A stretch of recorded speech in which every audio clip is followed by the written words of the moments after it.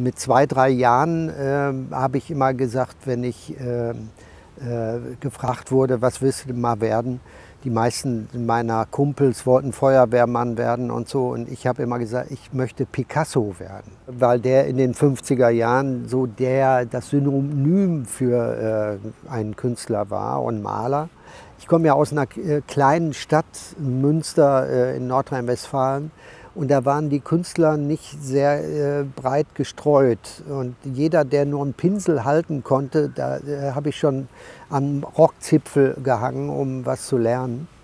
Meine Mutter hat das sehr gefördert, im Gegensatz zu meinem Vater, der mochte das nicht so, der wollte, dass ich ein Handwerker werde. Ich sollte das Geschäft übernehmen, äh, Klempnerei und Installationsgeschäft, und da hatte ich überhaupt keinen Bock drauf also Toiletten äh, aufstellen und so. Und das lag mir natürlich überhaupt nicht. Und ich habe so zarte Künstlerhände.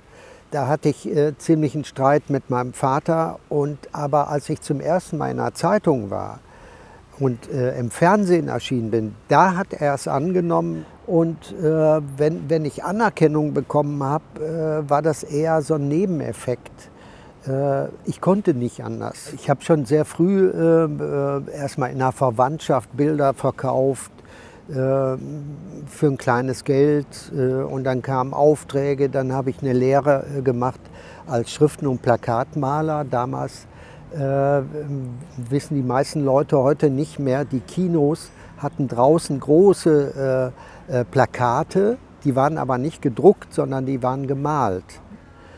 Und das machte mir unheimlich viel Spaß. Äh, und irgendwann brauchten die Kinos äh, nicht mehr diese Werbung. Und dann habe ich studiert und da habe ich überall in jeden Bereich mal reingeschnuppert. Visuelle Kommunikation hieß das damals. Und, äh, und dann nahtlos äh, habe ich dann davon gelebt. Dann habe ich ein Kino ausgemalt, äh, Gestaltungen gemacht, Bilder gemalt, große Ausstellungen gemacht, Experimentalfilme auch gemacht. Ich bin immer kreativ, ich muss immer irgendwas machen. Selbst wenn ich hier irgendwo eine Kastanie finde, mache ich was draus oder äh, ein Blatt. Äh, das steckt in, in, mir drin. Vielleicht ist das Künstler, äh, dass Künstler immer irgendwie was machen müssen und, und Ideen haben. Äh, Panik äh, kriege ich, wenn ich keinen Kugelschreiber und kein Blatt Papier in der Nähe habe. Äh, ich habe dann eine Idee, äh, will die notieren, ein paar Stunden später habe ich die vergessen, dann ärgere ich mich. Äh, also meine größte Stärke in der Schule war Aufsätze schreiben. Und zwar deshalb, glaube ich mittlerweile, habe ich erst vor kurzem mal drüber nachgedacht, weil ich eigentlich ein stiller Mensch bin und eher zuhöre als dass ich selber irgendwie aktiv bin und äh, Leute durcheinander bringen, äh, dann würde ich ja gar nichts mitkriegen. Ähm, also höre ich eher zu und dann sammeln sich Wörter, äh, schöne alte deutsche Wörter zum Beispiel, die heute gar nicht mehr benutzt werden. Ich habe äh, ein Lied von Claire Waldorf gehört, mit meinem Schatz Konditern gehen. Und dieses schöne Wort Konditern benutze ich heute sehr gerne. Äh, und irgendwann habe ich mal angefangen, Kurzgeschichten so für mich zu schreiben mit einer alten, äh, schweren Schreibmaschine und so. Und das war eine Tortur, wenn man sich vertippt hatte. Dann kam der Computer und das sah sofort aus wie ein richtiges Buch.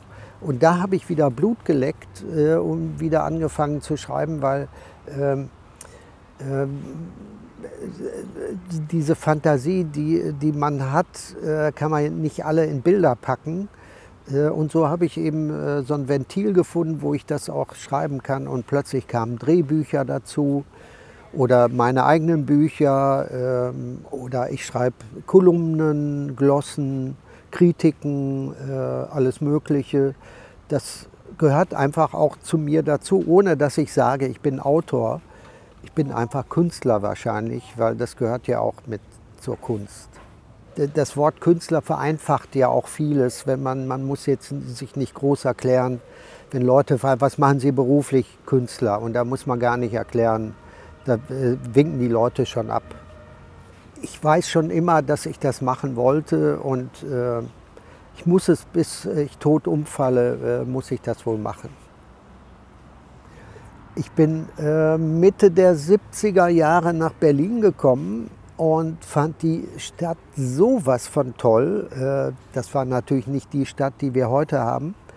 Äh, es war wie eine Insel und äh, sowas von schräg und etwas der Zeit hinterher, was es heute genau umgekehrt ist.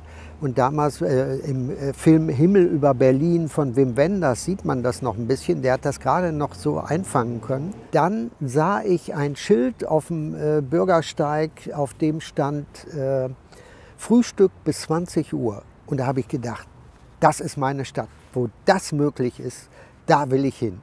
Und irgendwann war es dann soweit, da bin ich nach Berlin in eine Dreizimmer-Altbauwohnung mit Ofenheizung, riesige Kachelöfen gegenüber von Heinrich Zille, wo Heinrich Zille damals gewohnt hat. Und ich fühlte mich sofort so wohl. Übrigens 80 D-Mark Miete für 80 Quadratmeter. Äh, Mieten, die kann man sich heute gar nicht mehr vorstellen. Und das Schöne an Berlin ist, sobald man einen Ausweis hat, hier gemeldet ist, ist man automatisch Berliner. Kein Berliner sagt, sie gehören aber hier nicht hin. Und ich sage immer, die besten Berliner waren die zugereisten Berliner, nämlich Claire Waldorf und Heinrich Zille und man könnte noch mehr aufzählen. Das waren äh, auch keine geborenen Berliner. Und äh, meine größte, größte Liebe überhaupt ist Berlin, bis heute. Ich kann nur sagen, ich glaube, kein Künstler weiß, äh, dass er gerade Künstler ist.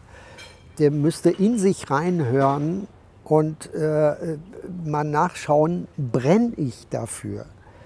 Will ich nichts anderes machen? Würde ich dafür hungern? Würde ich äh, Familie aufgeben, äh, nur um Kunst zu machen?